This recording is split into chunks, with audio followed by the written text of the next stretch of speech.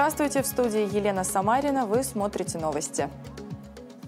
В Барнауле заработал новый светофор на пересечении проезда Северного Власихинского и улицы Лазурной. Об этом сообщает официальный сайт города. Работы закончили чуть ранее намеченного срока. Стоимость составила более полутора миллионов рублей. Эти средства выделены в рамках муниципальной программы развития дорожно-транспортной системы города Барнаула на 2015-2025 годы. Добавлю, этот участок довольно оживленный. Светофор там был необходим. Пример взаимодействия бизнеса и власти в интересах народных чаяний. Такой тандем работает в Залесовском муниципальном округе. Там реализуется проект убойного пункта. Подробности у Константина Ганова. Несколько лет назад введенный запрет на подворную бой скота для продажи сделал очень неудобным выращивание свиней и КРС в сельской местности. Не во всех муниципалитетах есть бойни, которые сертифицированы для забоя давальческого скота, выращенного в частных подворьях. Залесовский округ не был исключением. Правда, здесь это законодательное новшество не стало чем-то критическим. Скотину стали продавать живым весом. Обычно к нам приезжают, э, грубо говоря, люди, которые на месте берут живым весом и увозят уже на а, переработку на колбасные цеха.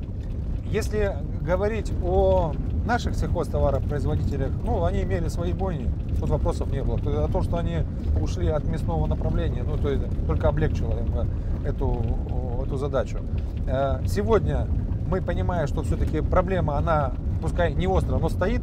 Мы все-таки переговорили и договорились с нашим предпринимателем Игорем Кичайкиным, и он взялся строить убойный цех, потому что у него своя переработка, ему необходимо э, сырье. Сейчас вы здесь видите только песок и строительный мусор. Но очень скоро, уже в следующем году, здесь появится оборудование для забоя скота и первичной разделки туши. И что очень важно, принимать здесь будут скотину не только от сельхозпредприятий, но и от населения. Таким образом, держать на селе скотину на мясо в Залесовском муниципальном округе станет удобнее и выгоднее, причем и для населения, и для частного бизнеса, который тут же из этого же мяса производит востребованные продукты питания и деликатесы. Константин Ганов, Сергей Седых. Новости. Алтайские грибники открыли летний сезон. Фотографии урожая жители региона публикуют в социальных сетях. Грибники хвастаются первыми подосиновиками, подберезовиками, маслятами и благородными белыми грибами. Точными локациями грибники не делятся, но упоминают, что найти урожай можно в Тальменском районе, а также в пригороде Барнаула, в Ленточном Бару, в районе Березовки и Власихе.